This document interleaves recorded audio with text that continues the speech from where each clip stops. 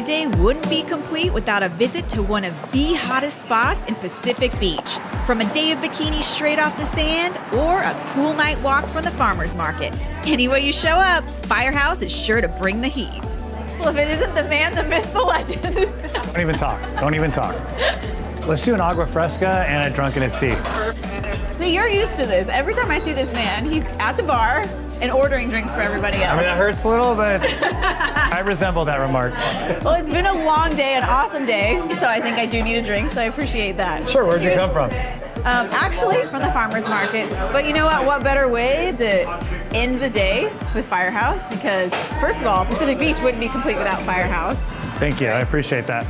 and I was drinking rosé, so we're moving into something else. It's cocktail hour now. You actually established Firehouse to feel like you could have your mom in for a glass of rosé. Yeah, exactly. But also a party. You know, it's funny. My grandma loves the biscuits and gravy, but my mom likes rosé. So I was like, okay, we can do this. And all beach areas have a similar vibe. So we really want to do something that was kind of boho chic for people like you. But grandmas and moms feel comfortable in the morning too. And it's it's so true. Well, thank you. It's I'm moving on. It's, it's now cocktail on. hour. it's always cocktail hour. Cheers. Cheers to you. And you know, that's what I love about Firehouse is I feel like for me, I come here thinking I'm just gonna have a bite to eat or a drink, but I'm here all day. So from sun up to sundown, you just stay. I always joke with my friends, there's a little magical dust that happens. You're like, I'm just gonna have brunch. Yeah. I'm gonna have one cocktail, and then I'm out of here. And then five hours later, you're like, where's my Uber? Where's my Uber? but that's the design. I mean, of all your places too, is you've really changed PB. You've upped the game where now there's restaurants like this popping up because you've made an upscale restaurant that fits the beach vibe. I'm from this area, I'm from San Diego. There's goods and bads with any city. Pacific Beach needed something a little bit nicer, so we tried it. And a lot of times, if you have a nice view, sometimes you don't have to have the best food. And we were kind of thinking, what if you did have good food and a good view and good music?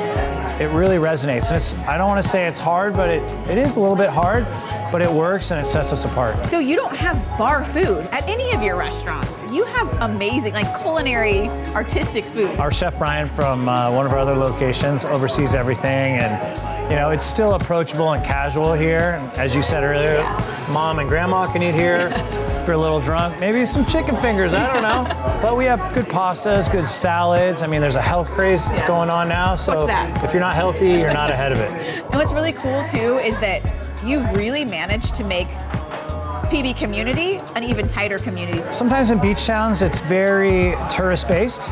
But if you could balance the tourist based with the local community, that's kind of the secret sauce, you know? And you do that well. I say anybody who is a PB local, like myself, if they don't know what Firehouse is, Like, who are you? You're not a PB who local. are you? Yeah. and on top of it, the Firehouse, the whole name itself, We're right next door to a fire station. You can literally hear the fire trucks coming out with the sirens on. So we were like, let's be firehouse, you know, restaurant lounge. On quiet nights, you know, sometimes we'll do um, a fundraiser and just raise a bunch of money for them, and it's it's a symbiotic relationship. you also have an upstairs. This is a whole nother vibe than this. I mean, this is awesome. No, I, But you got some stuff going on. No, I appreciate that. You walk upstairs and it's like you went through like a crazy door. And you're like, whoa, what's going on? We have DJs upstairs. Well, tonight's not mellow, so hopefully they can let me get a little set in there or something. Ooh, you wanna on the ones and twos? If that's an invitation, I'm going upstairs right now. Let's do it. We'll drop one track. I have been walking up these steps for over a decade now, and the excitement of hitting this rooftop scene never gets old. Flying solo or in a pack of your best friends, the drinks are always flowing and the ambiance never fails. There's just something about the energy of a live DJ set and a dance floor full of good vibes. You just feel it deep inside your adventurous soul. Matt Spencer said it best. You can absolutely lose yourself inside this magical place, and I guess the same could be said for our beautiful beach cities of San Diego.